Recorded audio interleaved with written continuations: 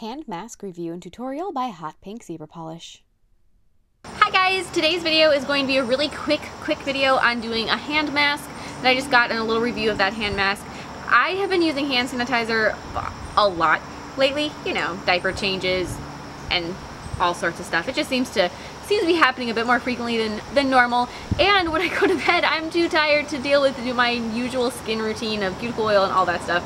So my hands have been suffering a little bit. So I decided I'd do a hand mask to help recover some. And I thought I'd just show you guys how that went. I hope you guys like this and there will be links to it in the description box below. So check that out. And don't forget to click subscribe see all my future videos as well.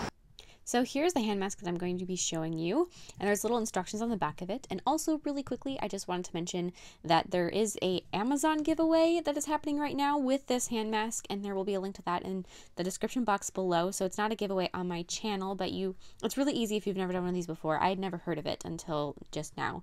But you just go to Amazon, and if you have an account, you log in, and then you click the little it'll come with a little box and you click the box and it'll tell you right away whether you won or not. So it's just kind of fun, really quick, really easy. So definitely, definitely, definitely check that out.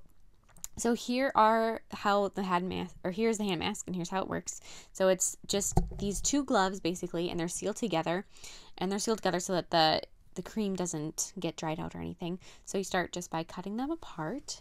Um, you, I found that for me, it probably would be easier. I don't know if you could tear them apart, but you kind of have to cut them apart and then kind of cut them open because if you just cut them straight straight down where they're sealed, they're still sealed because they don't open up all the way. But for this one, I just kind of tore it open after I had them cut apart, and that worked out really well. So that wasn't, it's not like it's difficult. I just, you know, just mention it. So that one's open, and I'm going to get the other one open because you're definitely going to want to have them both prepared before you put one on, or it's going to be a lot more difficult to get the other one on when you have one hand all gloved and slimy.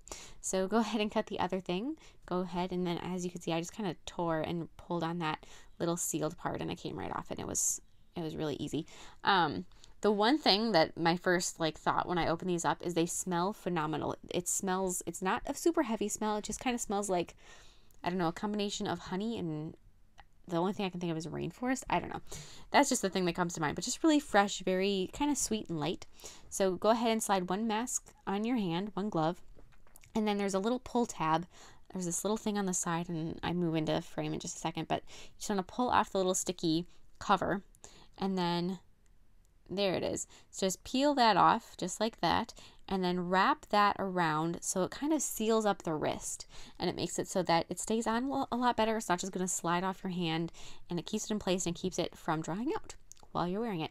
So after you're done with these, so then I did the other hand, but then after you have them both done 20 to 30 minutes, then you can just sort of peel them off.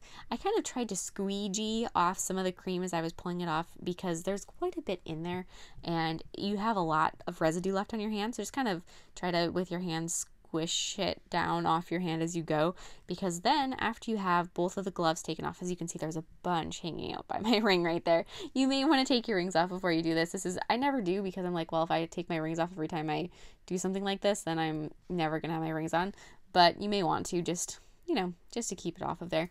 But just keep rubbing and massaging that cream into your hands until it soaks in. It was about mm, two, three minutes for me of, of that little massage, and they felt fantastic. And the scent also lasted for a really long time. So you kind of have this little residual, hmm, that smells good for, for quite a while, which is nice. And it just, like I said, soaked in and it feels great, not greasy, really light. I love it. So don't forget to check out that Amazon giveaway, and I will see you in my next video. Bye.